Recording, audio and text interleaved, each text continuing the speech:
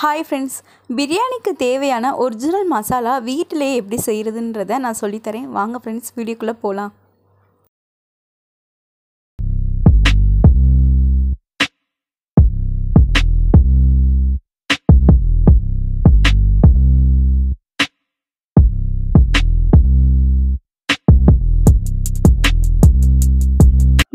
பார்த்தீங்கன்னா எல்லாரும் சொல்கிறது என்னன்னு பார்த்தீங்கன்னா இந்த பிரியாணி பொடி செய்கிறதுக்கு ஒரு பத்து பொருள் தேவைப்படும். அந்த பத்து பொருள் போட்டால் தான் இந்த பிரியாணி பொடி நல்ல வாசனையாகவும் சுவையாகவும் இருக்கும் அப்படின்னு சொல்லுவாங்கங்க.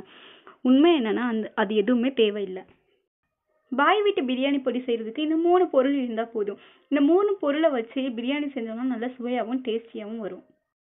சரிங்க. இதுக்கு என்ன அளவு அப்படின்னு நீங்கள் கேட்டிங்கன்னா கண்டிப்பாக அதுக்கு பதில் இருக்குது என்னன்னா பட்டை ஒரு மடங்கு எடுத்துக்கிட்டிங்கன்னா ஏலக்காவும் கிராமும் அதில் பாதி அதாவது அரை மடங்கு நீங்கள் எடுத்துக்கணுங்க.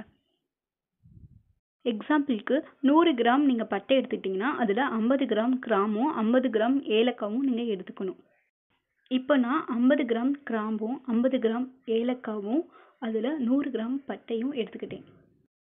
இப்போ என்ன பண்ணணும்னா இதை எல்லாத்தையும் வெயிலில் வச்சு நல்லா சூடானதுக்கப்புறம் அதை அரைச்சி வச்சுக்கலாம். அப்படி இல்லைன்னா வெயில் இல்லாத டயத்தில் நம்ம என்ன பண்ணணும்னா கடாயை நல்லா சூடு பண்ணிவிட்டு கடாயில் அடுப்பை ஆஃப் பண்ணிவிட்டு இதை நீங்கள் போட்டு ஒரு அஞ்சு நிமிஷம் சும்மா இப்படி வதக்குற மாதிரி செஞ்சுட்டு நீங்கள் இறக்கிடலாம். அப்படி இல்லாட்டினா சில பேர் நல்லா சிம்மிலே வச்சு கொஞ்சம் லைட்டாக வறுப்பாங்க. அப்படி வறுத்தாலும் நல்லா டேஸ்டியாக தான் இருக்கும்.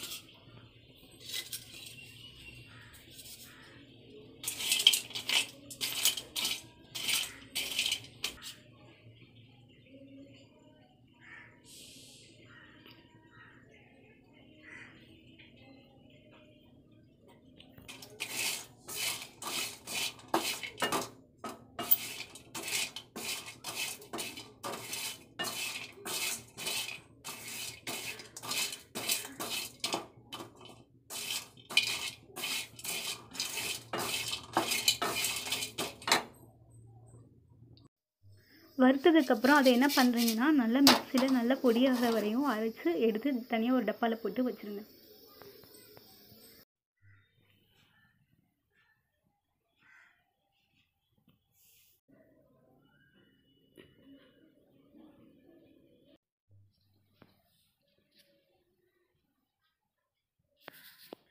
பாருங்கள் ஃப்ரெண்ட்ஸ் இந்த மாதிரி நல்ல பொடியாகி வந்துடும் ஸோ என்ன பண்ணுறீங்கன்னா இதை டப்பாவில் போட்டு எடுத்து வச்சுருங்க.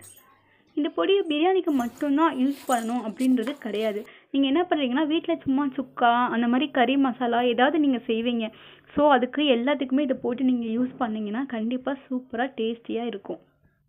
தேங்க்யூ ஃப்ரெண்ட்ஸ் இந்த வீடியோ உங்களுக்கு பிடிச்சிருந்துச்சின்னா மறக்காமல் உங்கள் ஃப்ரெண்ட்ஸ்க்கும் ரிலேஷனுக்கும் ஷேர் பண்ணுங்கள் நம்மளோட சேனலை சப்ஸ்கிரைப் பண்ணுங்கள் பக்கத்தில் இருக்க பெல்லைக்கான கிளிக் பண்ணுங்கள் கமெண்ட் பண்ணுங்கள் ஃப்ரெண்ட்ஸ் தேங்க்யூ